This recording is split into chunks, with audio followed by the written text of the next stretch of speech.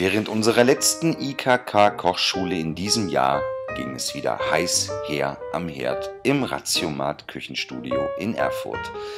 Gemeinsam mit dem Team der Avenida Therme und Gästen des Taktmagazins wurde in entspannter Runde an großartigen Köstlichkeiten geschraubt. Diesmal stand alles unter dem Motto Vollwertkost. Bei der Vollwertkost stehen vor allem frische und unbehandelte Lebensmittel sowie Vollkornprodukte im Vordergrund. Also gab es ganz viel frisches Obst und Gemüse, Fisch und eben leckeres Brot. Natürlich mussten wieder alle mit ran an den Herd und es wurde geschnitten, gehackt und geschält, bis die Messer glühten.